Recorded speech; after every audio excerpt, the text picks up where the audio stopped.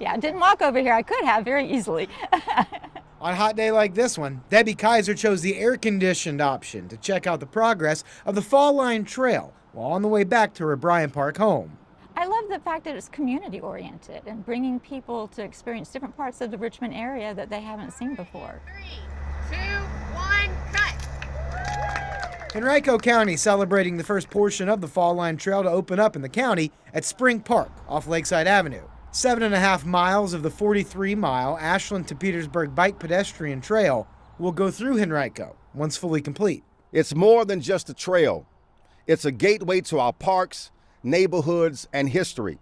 This small section connects pedestrians and cyclists to Bryan Park and includes a pedestrian signal across Lakeside Avenue.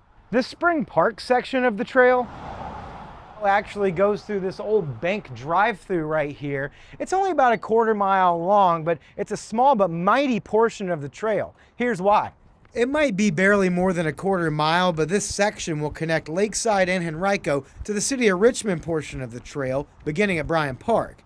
These city and county connection points will allow runners, walkers, and bikers access to all seven communities along the Fall Line Trail, something that requires a high level of coordination and planning. So now that this is done, the next step is to head up into Lakeside towards Dumbarton Road, and then that stretch will go all the way, seven miles, up into Hanover County. We're currently working on acquiring right-of-way and, and finishing up the design process for some of the other phases. Terrell Hughes heads Henrico's Public Works Department. This is definitely on the cutting edge of you know what we're trying to do in terms of just enhancing multimodal connectivity. He says their regional partners agree and see the Fall Line project as a benefit to the whole region like the popular Capital Trail, but one that runs through more residential areas.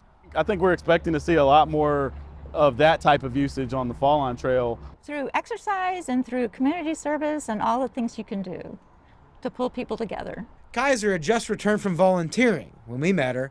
She thinks there's the potential for the Fall Line to have a major impact on her community and her family. I have two young grandchildren. I certainly will be using it.